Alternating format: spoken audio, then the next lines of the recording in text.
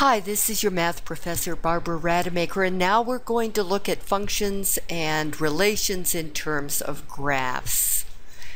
Graphs, like this slanted line, go on forever and ever. They consist of an infinite number of points, and they go forever and ever. What do you say? This line's going to go to the left forever and to the right forever.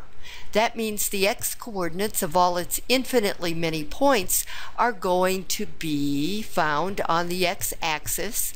And since the points will go to the left forever, uh, the x-coordinates of those points will be found on the x-axis going forever to the left.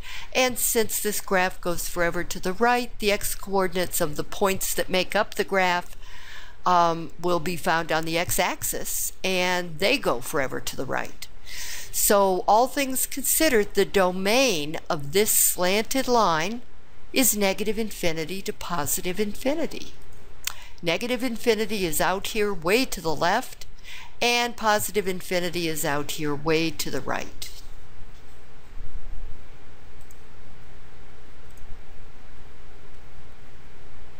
Okay, now the range. The range is how far up and down a graph goes. Remember that the range is the set of all the y coordinates of all the points.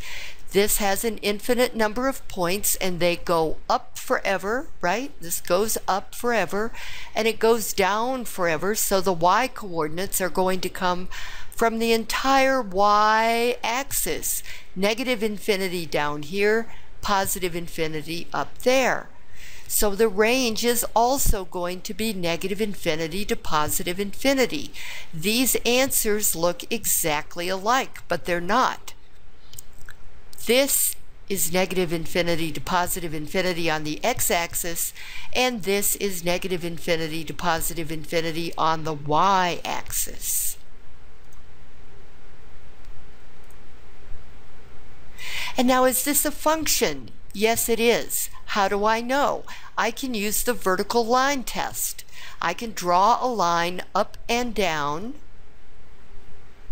through this uh, through this line right here through the graph and notice that any line I draw up and down through the graph is going to only intersect the graph once is going to intersect the graph only once that's good English okay that means this is the graph of a function, so I'm going to say yes. And now I'll move on. Decide if the graph is a function, also give the domain and range, and use the vertical line test.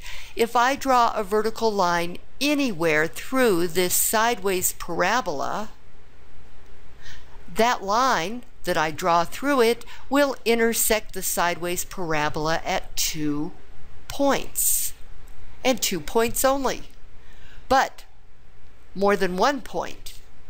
Therefore, this is not a function. If the vertical line had intersected the graph at only one point, like it did here, then we'd have a function.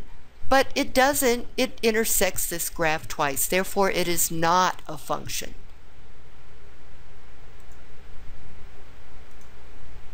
Okay, what's the domain? The domain is the part of the x-axis that um, uh, uh, that goes with the graph. I mean, all uh, this has an infinite number of points, goes forever to the right up here and forever to the right down here. And notice this is the farthest left it goes. So our domain is going to start with the x-coordinate of the farthest left point and go all the way to the farthest right point. Well, the farthest uh, the farthest left x-coordinate is 0, which means either this or this is our answer because this goes to the right forever out to positive infinity on the x-axis. Um, notice that x actually, uh, the x-coordinate actually is 0 right here at that point. Therefore, we use a bracket, which means x equals 0. A parenthesis means that x can equal a number really close to 0, but it's not going to equal 0 itself. Okay?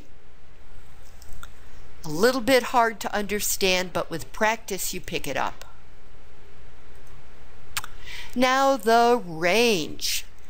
This little sideways baby here is going to tilt up forever on the upper leg and tilt down forever on the lower leg.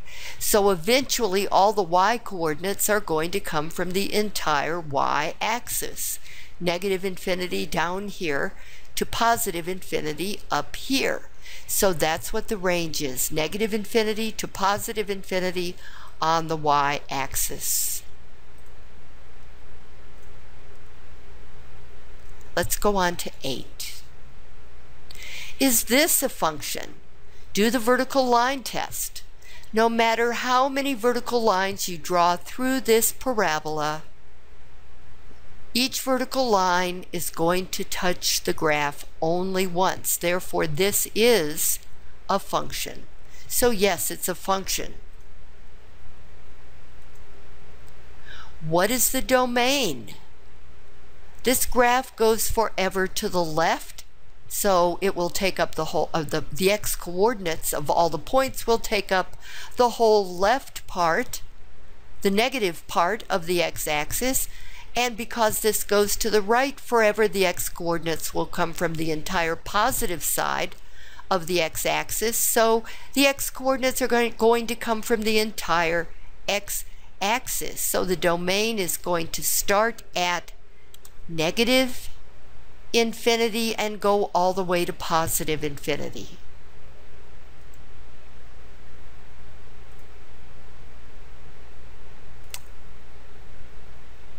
Is this a function? Do the vertical line test.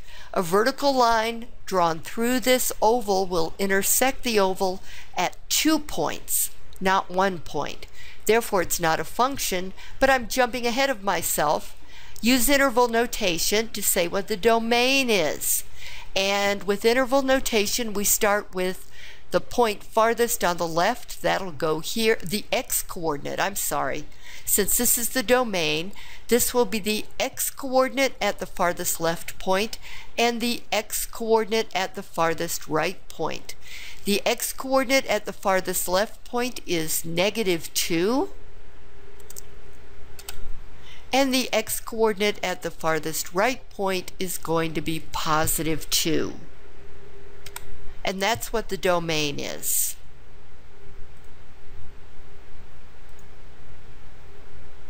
Now we're being asked, what is the range? When you're using interval notation and you're talking about range, the left coordinate is the lowest y coordinate and the, uh, the right box holds the y coordinate at the very top of the topmost point. So let's see, let's count down. Negative 1, negative 2, negative 3, negative 4, negative 5. The farthest left y coordinate is negative 5.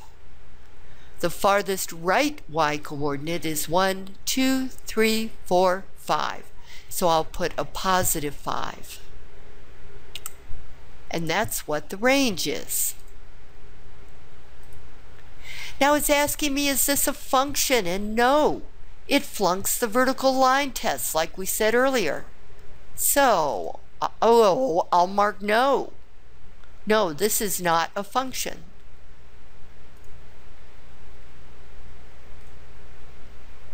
and then 10. Now we're talking about is this, well, I'm going to stop there. I'm going to stop the tape there, the tape. Boy, do I go back. I'm going to stop the recording here, and next time we'll start with 10.